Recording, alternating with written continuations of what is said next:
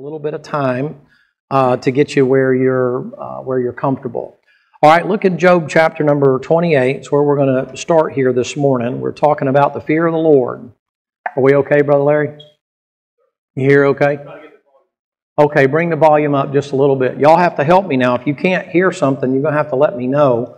Uh, I had them turn it down yesterday when everybody was up here working uh, because it was bouncing. But now that people are in here, it's a little bit different. And I think you might can take a little of that bass out of that or whatever that's making it sound like I'm doing this.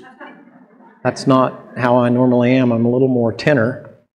Um, uh, let's uh, Job chapter number 28. Father, we'd ask now that you might bless the uh, services today. That's better, Joseph, and that you might be with us. We appreciate so much what you've done for us. Thank you, Lord, for the faithfulness of your people to give and to come and to be here. We do not deserve so great a gift as this, and uh, couldn't be a better day for us than to have the maiden voyage on the resurrection day. Pray you'll bless this day. May you receive honor and glory from it. Help us now as we go through these things in the Scripture, we pray in the name of Jesus Christ. Amen. All right, Job chapter number 28. Now, we've been talking about the fear of the Lord, and you're in a day and time where most people think that uh, things that are, have to do with fear are bad things. Uh, having the right kind of fear is a good thing, not a bad thing. That's like there was a big teaching that went around for a long period of time, and they said that uh, conviction and guilt were a bad thing.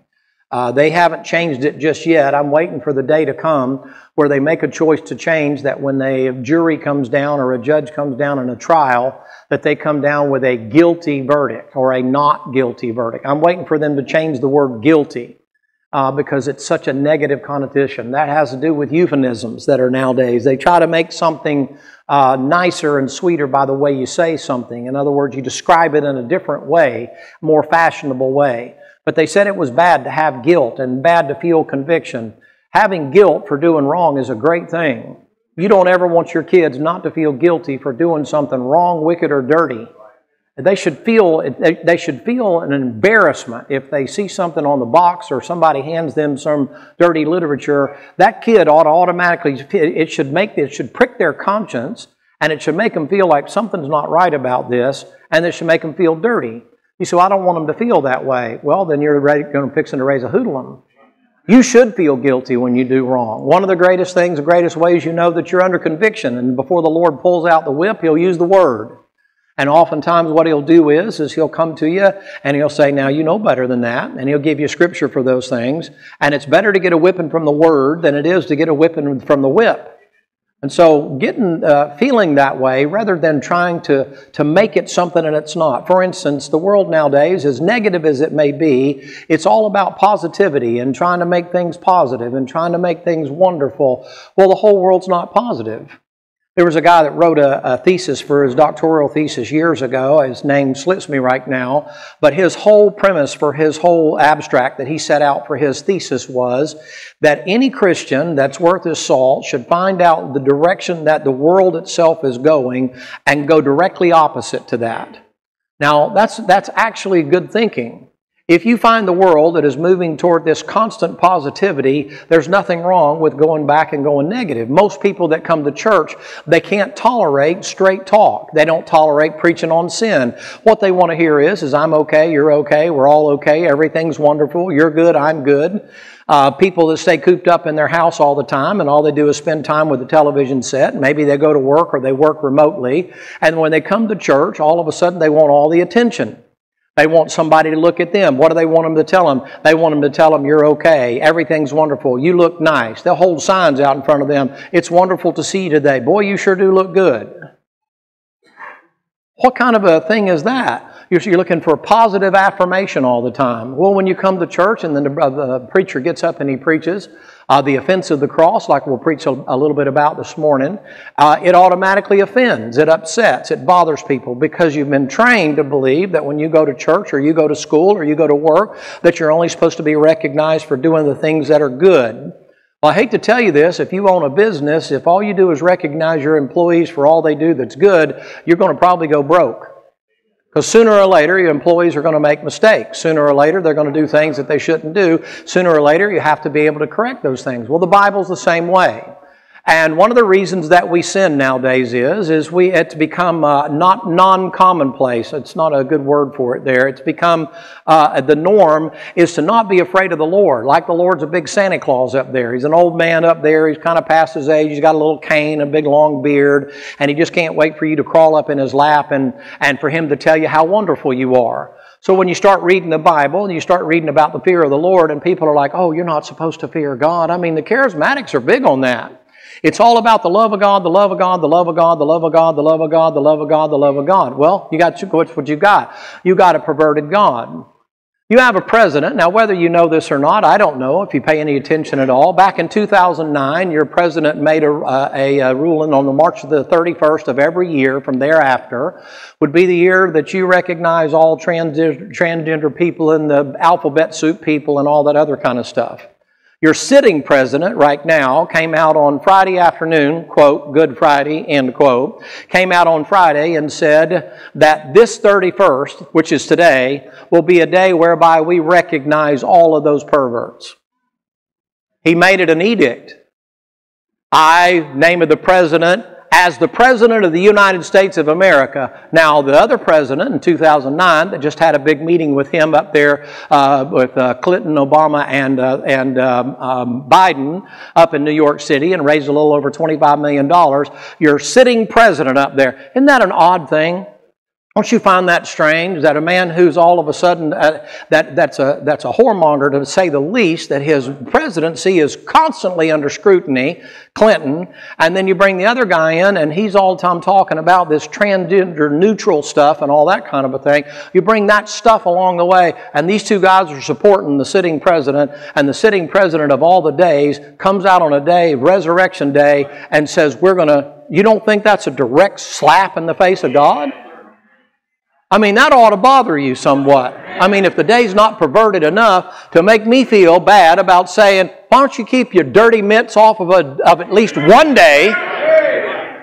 I mean, I, I, am not a politician, but I, I, don't, I don't get that. That doesn't make sense to me at all. That Bible teaches you over in 2 Samuel, he said, if you're going to be in rulership, if you're going to be in political office, you know what it says? He said that you do it in the fear of the Lord. In other words, you rule the people, but you yourself are in the fear of the Lord. Well, God didn't have any fear of the Lord whatsoever. But you know the reason for sin? You know the reason for gossip and backbiting? You know the reason for immorality and wickedness and all that? I'm not talking about the world. I'm talking about you and me. You know the reason of our sin? We don't fear the Lord anymore. It's not taught enough. The holiness of God, the purity of God, the cleanness of God. The fear of the Lord is clean.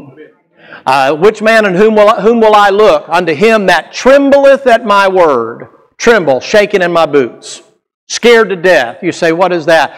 Listen, if God said it, God's going to do it, whether you like Him to do it or not. He's going to have His will back in the South years ago, back in the South or here in the South, we used to have uh, people that would get up and say, Lord, Lord, make me willing to be willing.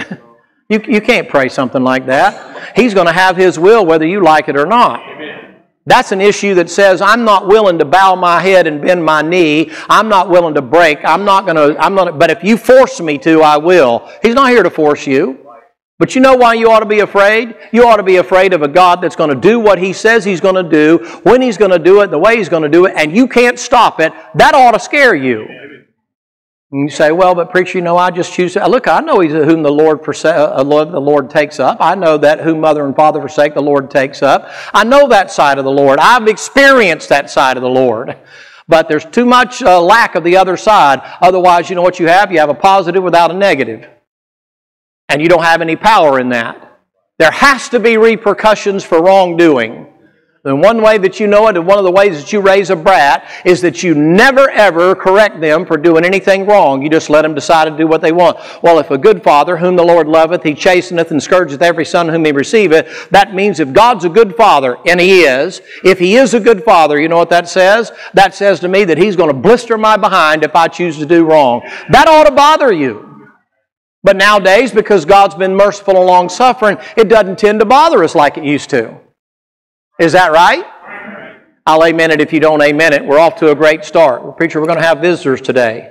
Okay, great. About time. Why do you think we got all these seats in here? Well, preacher, you might run them off. Okay. We're not smoking mirrors here. You know, they're going to they're going to stop you in that big old foyer out there somewhere, and they're going to, you know, uh, stand out there and they're going to say, "Is he like that all the time, or is it just a special day?" No, he's like that all the time. Matter of fact, he's pretty mild today. You say, "Well, I, I don't. I, I've never been to a church like that." Okay, well, welcome to the right kind of church. All right, look if you will, Proverbs chapter number 28. Come down to verse number 28. And he said unto, um, and, he, and unto man he said, Behold, the fear of the Lord, that is wisdom, and to depart from evil is understanding. All right, now Job gives you a lot of things, and I already gave you this stuff the other day about the midwives, and they feared the Lord, and the Lord took care of them. And I showed you that uh, the people in Romans chapter number 3, the reason that sin reigns from Romans 3 to about oh, 8 or 10 there, all the way to the end of the chapter. One of the passages in there that he'll say about 15, 14 or 15 there, he'll say, because men did not fear God. That's not just unsaved people. That's become very, very commonplace, ladies and gentlemen. In the day and time in which we live, Christians no longer fear God. Think about it. If you had the proper fear of God, would you have done the things in the past month that you did that you knew were wrong to do, but you did them anyway? The truth is, is no, you wouldn't do that. I don't care if you lie about it. Oh, well, I would have done it anyway. You'd have talked like that. You ever ask yourself if the Lord was present after you've let out that blue streak? You've ever asked if the Lord was present? Do you think the Lord would sit and listen to that? You ever ask yourself that? You think the Lord was pleased with that? You ever try to pray right after you have one of those moments? Oh, I'm sorry, y- y'all don't have those moments. you ever pray right after you have one of those thoughts? You feel a, there's a there's there's something that's adverse there. There's something that that seems to push against that. It's like, wait a minute, you think you're going to come out of here potty mouth and then come into my throne room and start talking to me out of the same water, bitter and sweet water coming in? Uh-uh, it doesn't work that way. Well, Lord, that's the other guy talking, and I, I apologize for him. Okay, well, let's get that other guy in line before you come up here. Take your Bible and come over in Job just a little bit further here. Look in Job chapter 23. Job chapter 23.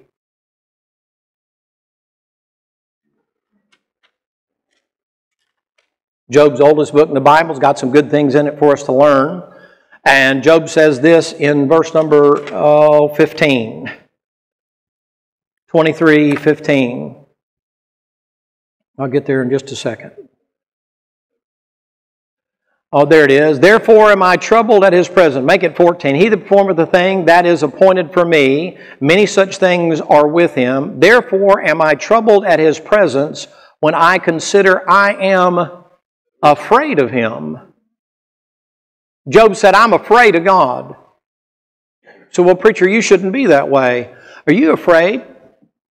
I'm afraid he's going to put me in hell. That's why I got saved.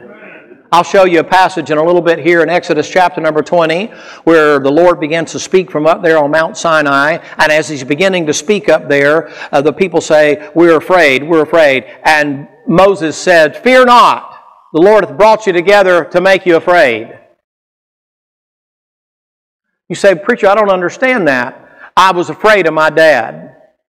But I wasn't afraid of my dad if other people were doing things they shouldn't be doing and I wasn't doing it and my dad showed up, I wasn't afraid at all. In Romans 13, you know what he says? He says you should be afraid of the police when they come around, the civil authorities, if you're doing something wrong. But if you're not doing anything wrong, you don't have to worry about it. You don't have to worry about Smokey sitting on the side of the road and pull your foot off the gas and all that if you look down there and you're not running 80. But you should be afraid that you're going to get lit up after that takes place. You say, well, why? You're doing wrong. Well, the fear of the Lord is not the fear of the Lord is I'm afraid that the Lord is going to chastise me. And so because I'm afraid, I'm not afraid when He shows up to do what He's going to do to everybody else. Why? Because I'm not in that group. I'm not doing it. So I don't have to worry about it. He's here for somebody. He's not here for me. That's what he's trying to explain there to him in Exodus. You don't have anything to worry about if you're not doing anything wrong, but if you're doing something wrong, you have something to be afraid of. Look in Job chapter 37. Job chapter number 37. Come all the way down to verse number 24. Y'all help me watch the time now because we got the kids coming in. They're going to still do the balloons and, and that kind of thing. So you help me uh, watch. That'll be a good christening for the building. Job chapter number 37. Come down to verse number 24.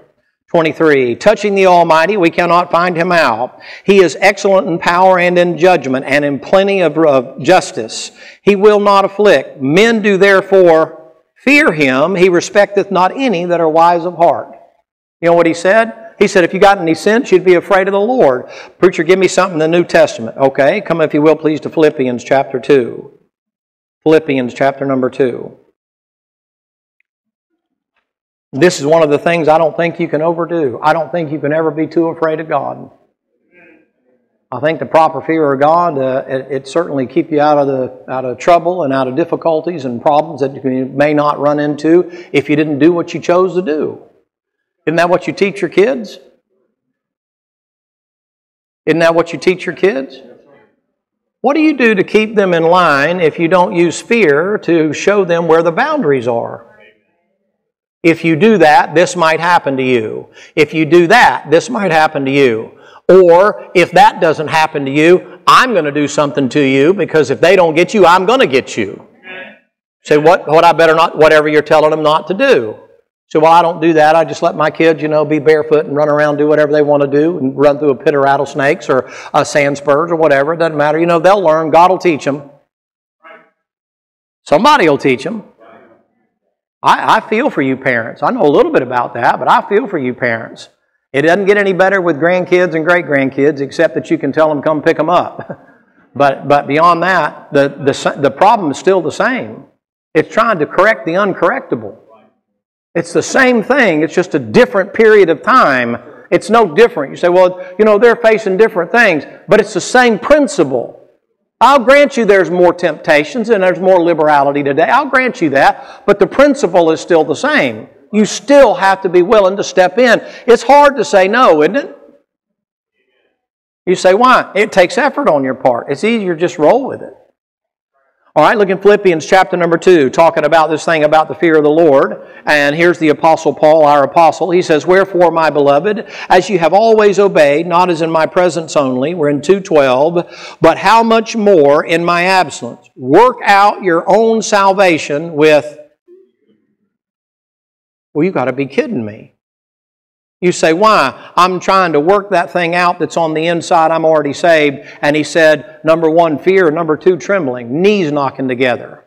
Why? The Lord gave me the responsibility of taking the thing that's on the inside, the embryo, and work it to the outside against my flesh. And he says, You do that with fear and trembling. Let me give you a couple of things on trembling. Come to Isaiah chapter 66.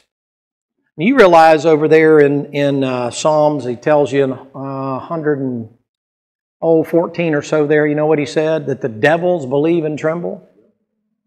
Well, do you believe and tremble? I mean, really tremble.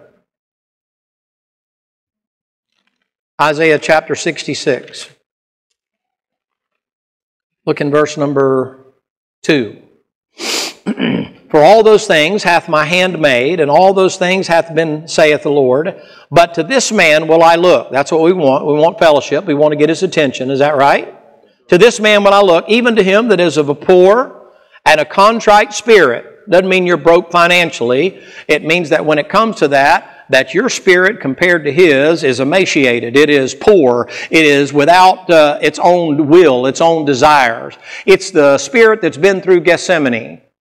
In Gethsemane, when the Lord goes, before he goes to Calvary, he goes up there after they've had supper. You'll hear a little bit about it this morning. And they go up and they sing a hymn. They cross Kidron uh, River there, creek there. They get across to the other side. They go to the Garden of Gethsemane.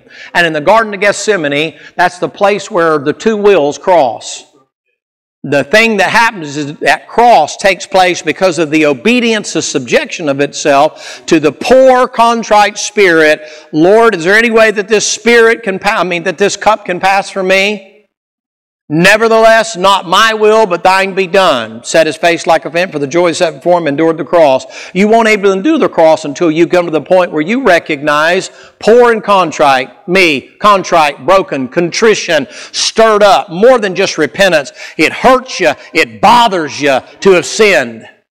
I mean, it tears you out of the frame. David says in Psalm 51 that when you get the Lord's attention, he said the gifts of the Lord are the thing the Lord is pleased with in Psalm 51 is a broken heart and a contrite spirit. I mean, when's the last time when you sinned that it put you under contrition? Look the word up in a dictionary. You can look at across the board, even the modern uh, definition of contrition. It's to be overwhelmed by the fact that you've done something so bad, it literally just dries you up and makes you shake because it's so bad what you did. Does it bother you to sin against God that way? A holy God that saved you, and that, that sin is one of the sins that nailed him to the cross? Does it bother you that way? I mean, if it bothered you that way, would you continue to do what you're doing? The truth is no. There's very little contrition nowadays. There's repentance, I'll grant you that. It's a quick trip to the altar and throw a little 1 John 1 9 on it and thank God for the blood of Jesus Christ, cleanses from all sin. We'll hear about that today. Praise the Lord for full salvation. I'm grateful for that. But after I'm saved, shouldn't I know better? After I'm saved, don't I have in me a sixth sense? Don't I have inside me a power? If I can do all things through Christ that strengtheneth me, you know what He tells me? I can stop sin if I want to. I don't believe, like a lot of people do, that you just oopsie trip and fall into sin. I believe if you're in fellowship with the Lord, He tells you before you do it. I believe that the Lord tells you through His Holy Spirit, hey boy, you better watch it. You better watch it. Hey, young lady, you better watch it. You're about to mess up. And when you mess up, it's because you made a choice to mess up over His voice. Don't do it. Don't do it. When you do it, does it bother you? To the point of contrition? Boy, I really messed up. I know, I realize some people get a little carried away with it. I realize some people uh, carry it too far, but I think most people don't carry it far enough. I think most of us, when we sin, we just like, well, I know I messed up. You know, I'm just a sinner, saved by grace. That's just the way it is. Yeah, but we're kind of slap happy, kind of lopsided about that, a little too, too relaxed. Would you agree? Notice what he says here. He said, To this man I'll look, even to him that is poor of a contrite spirit, and trembleth at my word. Come to Psalms 119. Peter tells you over in 1 Peter, uh, he tells you that you're to sojourn in fear. Psalms 119. Years ago, we went through all of the Psalms there in Psalms 119 and went through all of that stuff. 120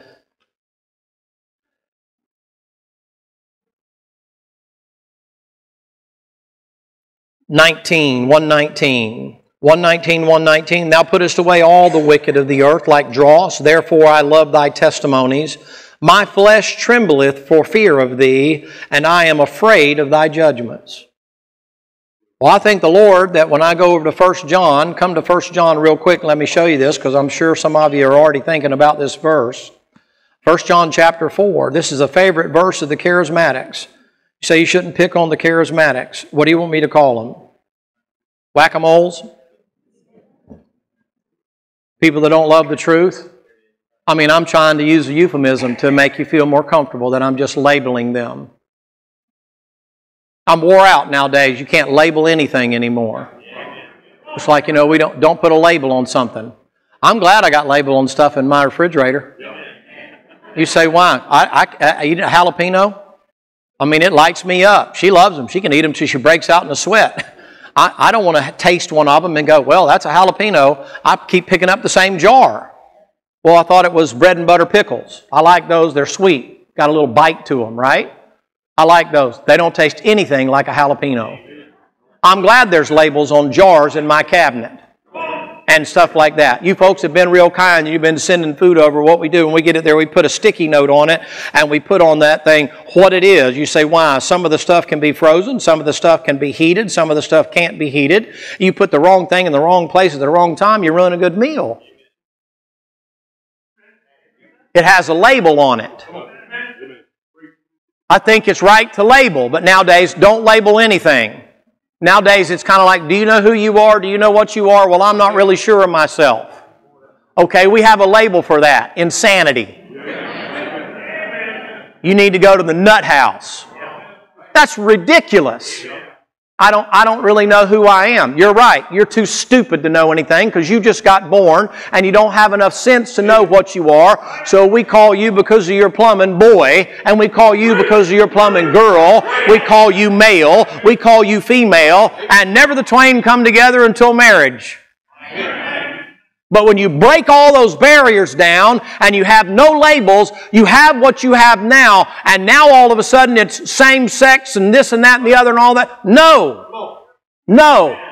You are outside the norm. Well, you, you can't label that. No, you can't label that. The Bible labels that. It labels it as an abomination. They're trying to eliminate the Bible. They're teaching your kids in school. Don't say that. Uh, refer to them as a they. Refer to who as a they? All those people in the corner? That's they. No, we're referring to that person. What's he got more than one demon in him? That's a they. There's a bunch of them in him. That some of y'all, you got. It's not time to pray yet. This carpet's about the same as over there. You're like, why's he got to do all that kind of stuff? I just feel moved. You can't get yourself ready for this stuff. I don't even know what I'm going to say. When I get up here, I'm, I'm looking at some of you, and it's it's making you nervous. You're starting to sweat. You're you're you're flopping around like a, a chicken. Listen, ladies and gentlemen, there's nothing wrong with still being right. There's nothing wrong with teaching your kids the right way to do things. You're weird if you don't do that stuff. You got to understand, ladies. He gets a little excited. He's got kids on the ground. And eventually he'll have grandkids. And the reason some of y'all don't care is because your kids are already grown. Doesn't affect you anymore. You just learned to go with the tide, haven't you? It's strange to me how you can't label that. Have you ever been labeled a Christian? Good. I like being labeled a Christian. I'm kind of like, thank you. I mean, the ones that have labeled me as a Christian, they meant it as slang. I'm kind of like, thank you, I'll take that. Appreciate it. oh, you're one of those. Appreciate it. I don't mind being labeled for the right things. But nowadays it's strange. You're not supposed to label anybody. One of the things that happens here in 1 John chapter number 4, and it has to do with the brethren that do love the Lord. I believe they love the Lord. They think they love the Lord. But when it comes to this matter here, uh, what they wind up doing is, is saying that you're not supposed to fear God anymore. Cast out fear. If you have any fear, fear is of the devil. The Lord didn't give you the spirit of fear, but a love and a sound mind, and so on and so forth. The spirit of fear, ladies and gentlemen, that he's talking about there is not ever the spirit of fearing the Lord. It's a spirit of fearing the Lord so you don't fear the things that you shouldn't be afraid of. You don't have to worry if you have the right spirit and the right spirit of fear toward God. You don't have to worry about what everybody else is worried about. Or what's going to happen on April the, what's the day that the, the, the moon goes dark or whatever it is? April 8th. They're having an eclipse thing.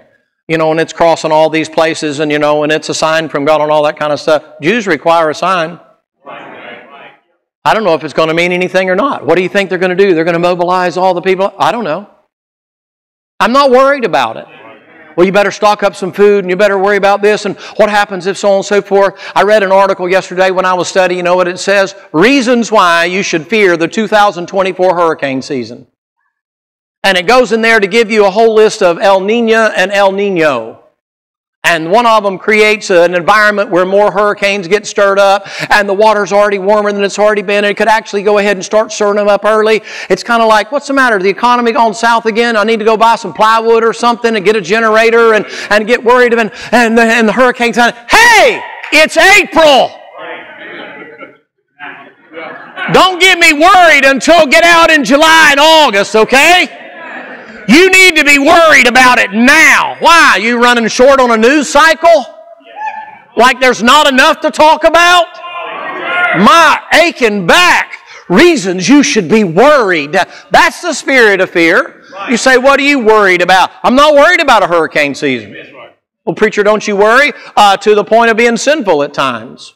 I worry about making right decisions. I worry about finishing right. I worry about quitting. I worry about getting depressed and downtrodden when God said for me not to. I worry about breaking fellowship with the Lord. I worry about this human being, this flesh being displeasing to God. Yeah, I worry to the point of those kinds of things. Do you? I worry about that stuff. I worry about God taking his hand off of me. And there's nothing I can do about it. There ain't anything I can do to earn it, and there's nothing if all of a sudden he said, I'm done with you, that scares me to death. I'm going to do my best to, you know, say, well, you're just brown nosing God. Call it whatever you want to call it. I'm going to stay as close to Him as I can. And if He says jump, I'm going to do my best to say how high. I can't jump quite as high as I used to jump. I'm getting a little older now, but I'm sure going to give it a try. Man, you didn't even get six inches off the ground. Yeah, but it wasn't for lack of trying. White men can't jump. I guarantee you, I guarantee you this. I guarantee you if you're afraid enough of God, you'll jump. I guarantee you that just simply means when He says it, I do it. 1% hesitation, 100% rebellion. When God says it, I do it. You say, why? Because God said, I'm afraid of Him. Keep me from getting in trouble. I'm afraid He's going to be displeased with me. I don't know, maybe I feel like I got more to lose than you do. That scares me to death. I know that if I'm left to myself, I know what I'm capable of. I guess you don't. I guess you must think you can make it without Jesus. You're going to love the sermon this morning. You say, why? It's going to fit right down an old Pharisee and old uh, self righteous person's right down your pathway. You're going to just love the fact that anytime a preacher preaches to you anything that has to do with works, you're going to eat it up and love it like pigs love slop. Because you think you can make it on your own. If there's lost people that show up here today, boy, they're going to have a rough time to make it. You say, why? I can tell you why they're lost, and I can tell you why you're backslid. You don't fear God. You're not afraid of God. You figure you're doing okay because you're doing better than most. Okay, well, when you get up in front of Him and recognize the terror of the Lord, that's going to cure you from sucking eggs. John chapter number, 1 uh, John chapter number 4, verse number 17. Herein is love made perfect, that we have boldness in the day of judgment, because He is, uh, so as He is, so are we in this world. Did you get that? You say, herein is love. What are we going to talk about? The context is what? Look at it. It's the day of judgment, verse 17. Verse 18, there is no fear in love, but perfect love casteth out fear, because fear hath torment. He that feareth is not made perfect in love. Don't be afraid. Don't be afraid. Cast out fear. It's the devil. Anytime you fear, uh, it's the devil. It's the devil. No, it's not. The context of that is in the day of judgment. I'm not afraid of my losing my salvation. We had a fellow that asked about an individual getting into a discussion, an argument about uh, people that believe and don't believe in eternal security and those kind of things. Let me just tell you this. I can tell you why people don't believe in eternal security, and it's not doctrinal. I can tell you why they don't believe in eternal security. Because they're self righteous individuals that believe they're righteous enough to make it on their own. There ain't a humble bone in their body. There is not a humble bone in their body. They refuse to accept salvation by grace through faith plus nothing. They're not able to receive charity. They have that arrogance about them. They always, you know what's interesting when you talk to those people? They believe you can lose it, but they never lose it. Well, how about if I show you, if you go contradictory to Scripture, that you're sinning? You considered that one? Not just that you don't smoke and drink and cuss and chew and go with them that do. I'm not talking about that. I'm talking about how about your thought life? How about the passage in the Bible where he says that if you've committed, if you've broken one, you're guilty of the whole thing? Is the Apostle Paul saved or not saved? In, uh, over there in, in uh, Romans chapter number 7. Saved as I am and you are. That's 27 years after the road to Damascus. You know what he's talking about? The flesh and the spirit. You don't rightly divide your Bible, you'll be lost every day of your life, if you're honest. One of the greatest things you should have if you're a saved individual is, is eternal security resting in the bosom of Jesus and knowing that no matter what condition my flesh is in, my soul is going to heaven. Because I got saved. I'm sealed to the day of redemption. But if you don't rightly divide your Bible, you still got that flesh and spirit connected together, and you're a self-righteous imbecile is what you are. You're an individual. I'm labeling you. You're not a Bible believer at all. Oh, I just believe the Bible. No, you're not. You're trying to put people in bondage to a form of righteousness. You can't make it by your own righteousness, not by works of righteousness. You ain't going to make it. All our righteousness is as what? Okay, then you got to believe the Bible. If the Bible says that, then that's what He says about me. Say, what does that mean? After I get saved, anything I do is powered by the motorized uh, Holy Spirit inside me. And if I'm able to get my flesh under control and keep Him under control, let's say for the next, uh, we'll say two hours, after that, guess what? I better be careful to keep a bit and a bridle on Him. You say, why? He's always trying to talk me out of them handcuffs.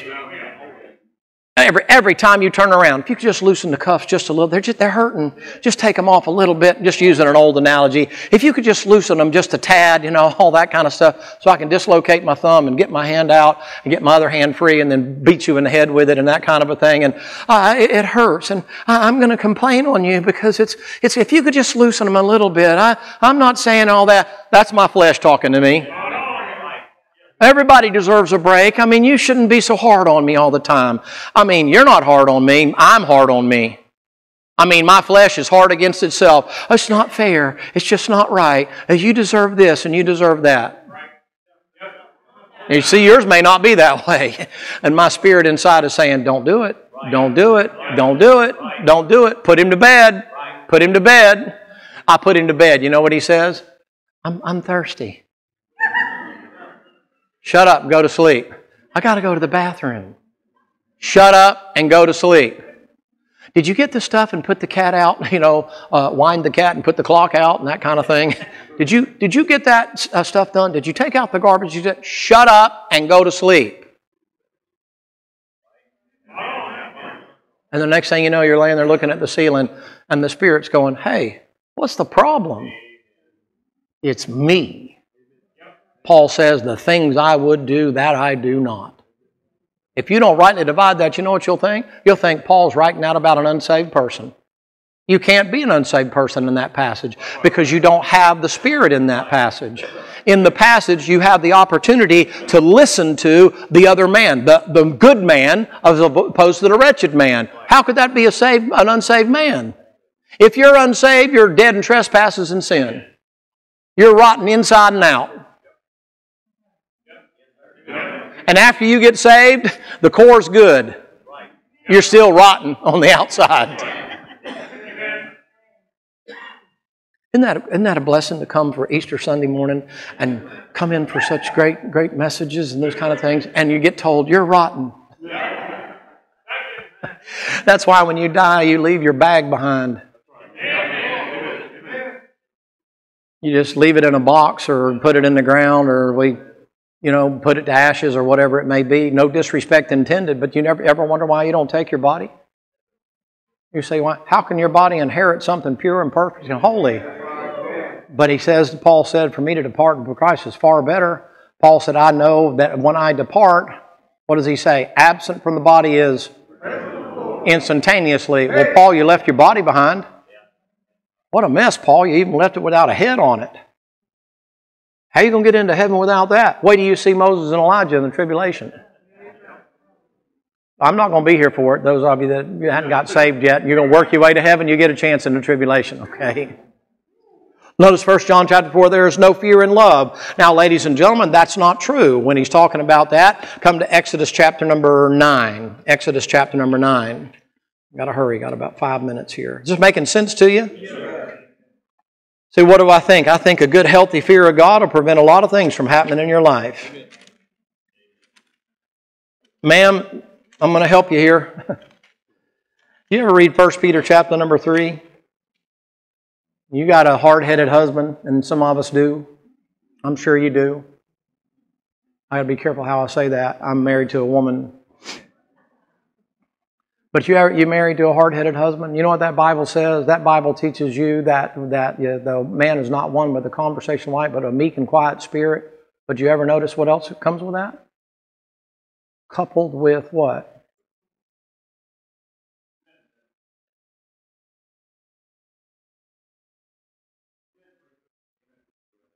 Sure got quiet right there.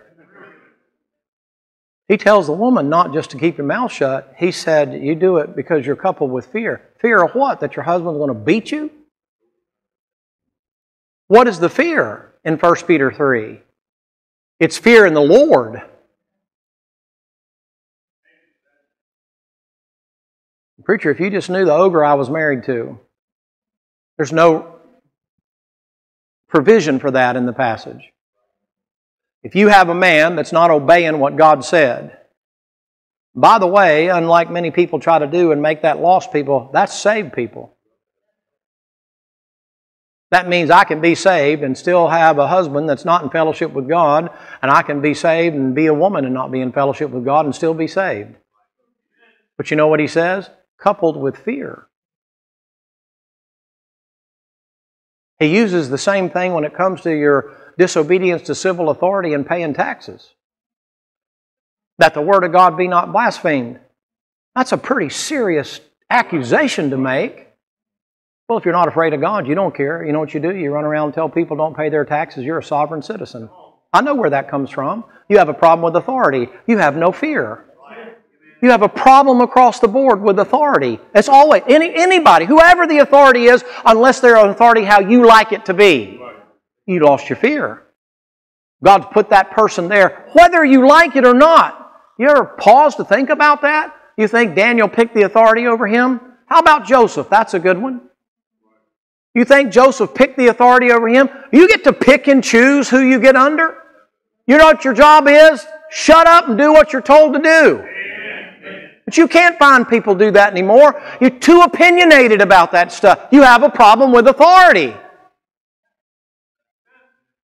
Because you don't have fear. You say you believe the Bible. If you believe the Bible, then would you be doing what you're doing? Or would you do what God says to do? I don't know. You answer it yourself. Are you in Exodus chapter number 9? Uh, look, if you pull verse number 19. Exodus chapter number 9. Come down to verse number 19.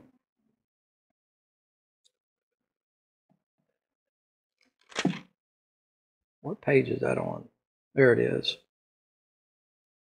19 send, send therefore now and gather thy cattle and uh, upon thou the ha- that hast in the field. For upon every man and beast which shall be found in the field and shall not be brought home the hail, hail shall come upon them and they shall die. Now he's given instruction. He's given a warning before what's coming. He didn't surprise them with it. He said listen go get your cows out of the field and if there's any person that's out in the field head for the high country and get in the house. Is that fair? Is that a good, good interpretation of what's there? Now, watch how practical the Bible is. He that feareth the word of the Lord among the servants of Pharaoh made his servants and his cattle to flee into the houses. And he that regarded not the word of the Lord left his servants and his cattle in the field. What do you reckon happened to them? they got killed. Why? Because they didn't do what God told them to do. Look in Exodus chapter number 20.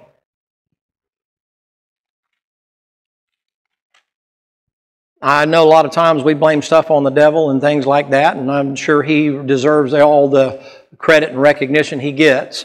But oftentimes I see him in my mind's eye. I, I, see him over in the corner weeping and crying and bawling and squalling, and you ask him what's wrong. He said, I'm constantly being accused of things I'm not guilty of. I think sometimes we give the devil a little too much credit. I think that a lot of times the trouble that comes our way is because God warned us and God warned us and God warned us and God warned us and God and we're like the Egyptians in this earth. The Lord even gave uh, liberty and gave grace to the individual if they heard they weren't even Israelites. Even the servants that were there, if they did what God said to do, you know what He did? He gave had mercy on them. Exodus chapter number 20. I'll give you this real quick and then we'll close out because the kids are going to come in. So before you break and go to the bathrooms and stuff, look at uh, verse number 18. And all the people saw the thunderings and the lightnings and the noise and the trumpet of the mountain smoking. When the people saw it, they removed and stood far off. And they said unto Moses, Speak thou with us, and we will hear, but let not God speak with us, lest we die. And Moses said unto the people, Fear not, for God is come to prove you that his fear may be before your faces, that you sin not. Don't be afraid, but be afraid. You don't have to be afraid of what God's saying and the tone in which He's saying it, as long as you understand He's doing it to protect you. So He's helping you. Don't be afraid of what He's saying because if you do what He says, you don't have anything to be afraid of. Now, if you learn that, ladies and gentlemen, if you learn that even the day and time in which we live, come real quick to Psalms chapter 33. Psalm chapter 33. If you learn to do that, then you know what you'll wind up doing? You'll wind up living a whole lot better life. And it won't bother you. How many people have you heard on a regular basis talk about the tone of somebody's voice? They used to uh, not like the way that the old preacher talked. They didn't like the tone of his voice. But a lot of that got thrown off because they didn't like what he was saying. But they hid it by, well, I don't like how he says it. Okay, well, that's kind of a funny way to sort of clean it up a little bit to say, I really don't like what he said, but I'm going to make it a personal attack. That's why when you deal with individuals and immediately they default to other people's past or they default to their uh, things they've done wrong and that kind of thing, and they begin to magnify their character traits, you know they don't have much of an argument. What they're trying to do is, is ruin their testimony because their testimony is true, but then no matter what, they're trying to tell you the testimony must not be good. Why, look at what they did and look at what they used to do. That's why when people tell you, I remember you back in 1974 and what you did in this and that and the other, sorry, I was a bad testimony. It's not who I am now, it's who I who used to be. I apologize for that and move on. But when they do that, you know what they're doing? They're trying to negate the truth that you're telling them. Everybody makes mistakes. Everybody does. But when somebody is constantly attacking, you know what? You're making some ground. All right, Psalms chapter 33, and we'll, we'll stop on this one. Uh, look, if you will, please. Let me get my reference here. Look in verse number 8. 33, yeah, that's it, verse number 8. Let all the earth fear the Lord. Let all the inhabitants of the world stand in what? Now, when you have, think about that at the second uh, coming of Jesus Christ, and you got the Lord coming down with the breath coming out of his mouth there, uh, the one that spoke star clusters into uh, existence and those kind of things. Do you ever pause and think about it for just a minute? The entire earth is going to be afraid of him. Why shouldn't we be afraid of him now? Now, these children are going to come in here and we're going to do a wordless book. and